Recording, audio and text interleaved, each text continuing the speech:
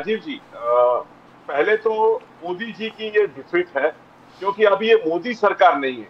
अभी ये एनएनडीए सरकार है। नीतीश नायडू डिपेंडेंट सरकार है। तो पहली बात तो वहाँ उनकी सबसे बड़ी डिफिट है। उसके बाद जो लीडर ऑफ़ अपोजिशन आज तक वो रिकॉग्नाइज नहीं करते थे उसको उनको रिकॉग्नाइज करना पड़ रहा है वो उनकी सेकेंड डिफिट है। और सर हमारे जो एमपी है वो सभी हमारे बिल्कुल स्ट्रॉन्ग और स्टेबल एमपीज है। वो ऐसे सब जो प्रलोभन ये देते जाएँगे, उससे वो लोग उसमें नहीं जाएँगे। और वो हमारा फ्लॉप जो है, वो बिल्कुल हमारे साथ में है और हमारे साथ रहेगा, ऐसा कुछ नहीं होगा।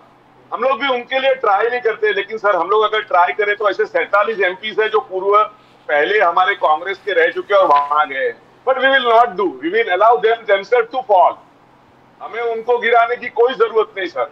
हमको पता है कि वो गिरेंगे, क्योंकि जिस प्रकार से मिनिस्ट्री फॉर्मेशन हुआ शपथ विधि हुई उसके बाद में इमीडिएटली जो चालू हो गया उसको आप अगर देखेंगे प्रफुल्ल पटेल जी नाराज़ है रा, रा, राष्ट्रवादी कांग्रेस पक्ष के अजीत दादा नाराज़ है एक नाथ शिंदे जी खुद नाराज़ है।